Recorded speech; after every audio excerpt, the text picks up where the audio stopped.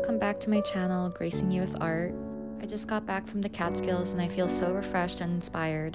It's the beginning of fall, so the leaves just started to turn, and it was so beautiful and relaxing to be in the middle of the woods in our little cabin. We stayed in this tiny book village called Hobart, but it was actually a bit deserted.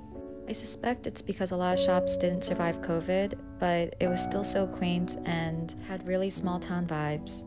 We even passed by a few farm stands that were loyalty based, and you just put in your money in a mailbox and got to take your vegetables. I was so shocked because you would never see that in the city. But everyone seemed to trust each other here. I did a little art therapy session with some goats, and it was honestly such a good time. I painted this tiny autumn scene while we got to cuddle with the cutest goats. this guy was named Ziggy, and he was my favorite.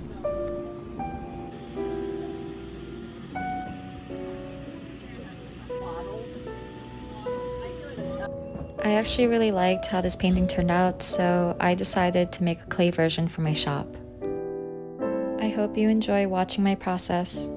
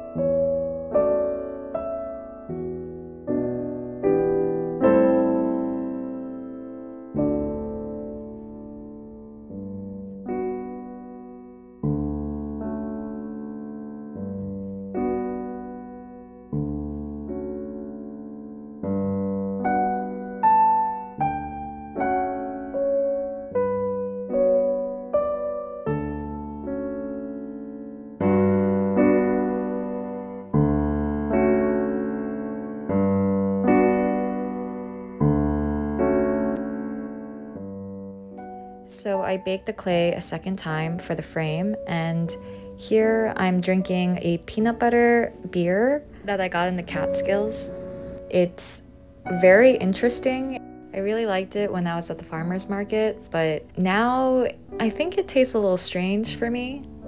Anyway, now I'm just brushing on some gold accents. This is a rub and buff wax in the color gold leaf. It's usually used for furniture, but it works really well when I want a touch of gold on different colored frames.